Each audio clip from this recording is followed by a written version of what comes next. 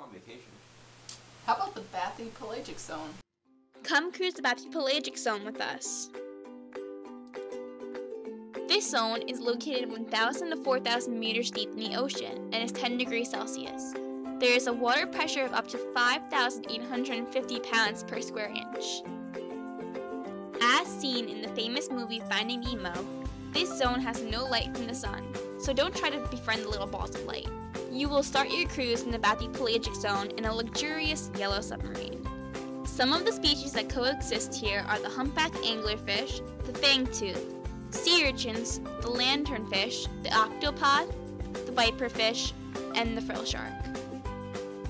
Also, whatever these are. Let's use these furry fish as an example.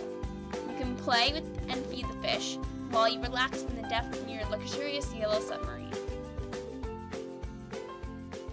Thank you for watching.